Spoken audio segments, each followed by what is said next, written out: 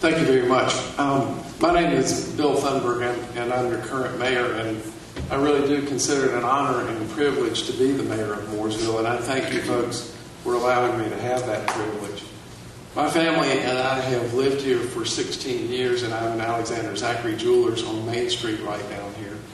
And as many of you know, I've been involved in the community in many ways over those years, from volunteering every day in uh, a middle school for seven years to uh, many positions at the Chamber of Commerce and, and in other community service areas and various boards and things.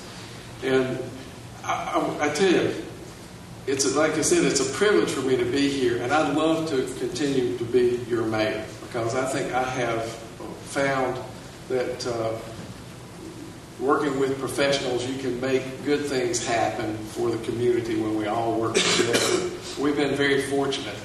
One of the first things that we've done is, is, is we adopted a strategic plan that, that included in it uh, principles, values that we make decisions by. And those principles are maintain and enhance the financial integrity of the town, maintain and enhance the level of service that the town provides to the citizens, respect the commitment of the taxpayers, and respect the efforts and sacrifices of, of the folks that work for the town.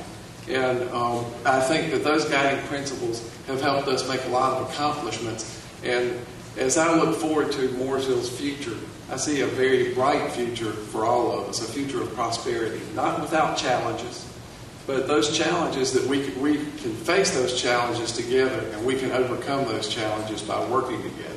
And it's an honor and a privilege for me to be here, and I thank you very much for coming out, and I thank you at the Chamber for putting this event on. Thank you very much, Jeff, and I want to I want to thank the folks for coming out tonight, and I want to thank the Chamber for putting this event on, and I want to thank my fellow candidates for in, engaging in this democratic exercise. Um, we've discussed a lot of things tonight, and, and, and, as I said, most of them are quality of life issues. And, um, you know, when I came to Mooresville 16 years ago, you know, this community embraced me. We, we opened a jewelry store down here on, on Main Street, and I think the first person through the front door was Joe Knox to shake my hand and, and welcome me to the community. And ever since then, uh, this community has taken me and my wife Denise in, uh, and, and, and we've raised our two boys here.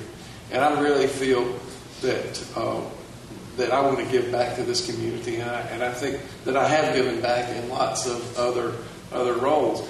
But a lot of times you, you hear people talking about problems, and they say, "Oh me, oh oh my." Well, you know, the best is yet to come, folks, for Mooresville. It's just like Miles said.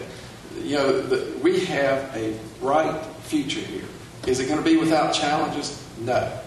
Do we need to have the right people in place to confront those challenges and, and overcome those challenges in a strategic way that maximizes the, uh, the, the, the, taxpayers' money and, and uh, protects the financial integrity of the town and, and, respects the commitment of the taxpayer and respects the effort and the sacrifices of the town employees? Yes.